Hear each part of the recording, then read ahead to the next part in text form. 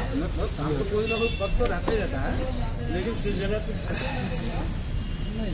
तो आपको वो उपलब्धि नहीं मिल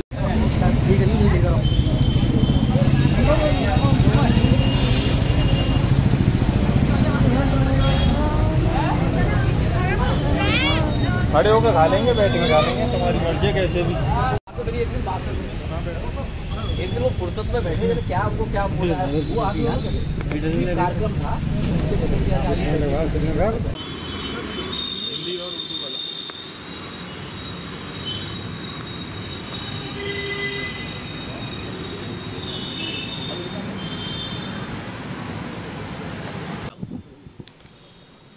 नागरिक संशोधन अधिनियम के तहत लोगों के बारे में जिला प्रशासन ने पाया है कि सही से जानकारी नहीं है।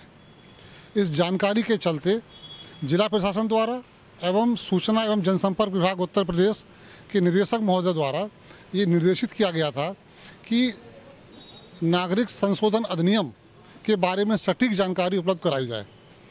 इसके लिए उन्होंने मंडल स्तर पर पचास हज़ार और जिला स्तर पर कहीं तीस हज़ार, कहीं बीस हज़ार पंपलेट जो है छापने के आदेश दिए थे और इनको मस्जिद, मंदिर, गुरुद्वारा पब्लिक प्लेसेस ऑफ़िस आदि में बंटवाने के लिए निर्देश प्राप्त हुए थे।